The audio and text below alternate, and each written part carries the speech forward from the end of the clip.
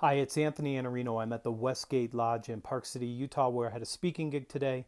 And I want to share just one insight with you that I noticed today that I want to reiterate. I've written about it before, but it's the difference between fear and the real danger. In this case, a salesperson struggled to make a call to a client because that client has stalled their deal. It's taken a lot longer than it should have.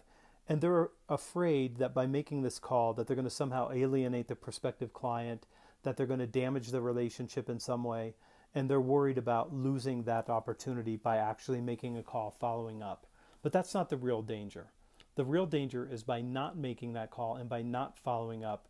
He doesn't serve his company, he doesn't serve himself, and he certainly doesn't serve the client who's trying to get a better result, but having a difficult time doing it inside their own company. So the real danger is in not taking action.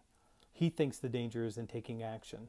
And I see this behavior regularly, and you do too somebody has a higher price and they don't want to talk about the higher price until deep into the sales process, hoping that the client will accept it later on after they've had a chance to create enough value and hopefully when they have the relationship.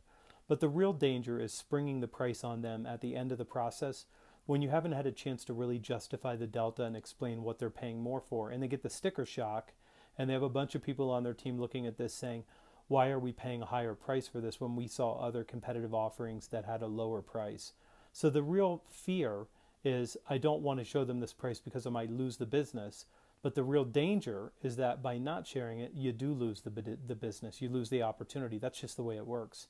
So there's a difference between the fear and the real danger. And you're always better served by dealing with the danger and not the fear.